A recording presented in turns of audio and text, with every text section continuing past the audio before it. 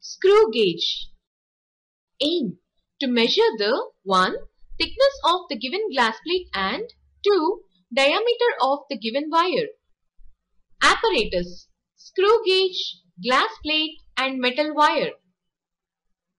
Theory The screw gauge works on screw principle.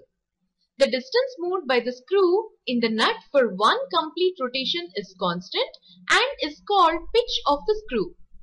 When the head of the screw is divided into, say, 100 equal divisions, then the distance moved by the screw for even 1 by 100 of a complete rotation also can be accurately measured. Eventually, this is the least count of the instrument. Therefore, least count LC is equal to pitch of the screw by number of divisions on head scale. Procedure To find the thickness of a thin glass plate and the diameter of a thin wire or a small sphere using a screw gauge, we must first determine its least count. The head is rotated through a certain number of complete rotations.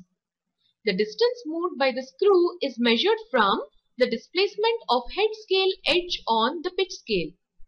Then, pitch of the screw is equal to distance moved by number of rotations.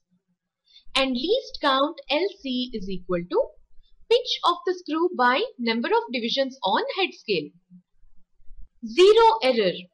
There are two types of zero errors depending on whether the zero division of the head scale is below or above the index line.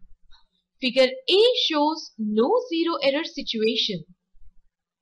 Negative zero error.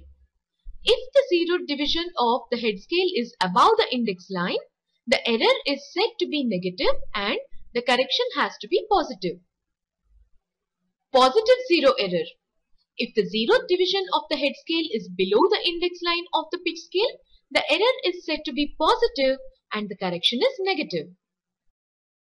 Precautions 1. Screw must be rotated by holding only milled head provided with safety device.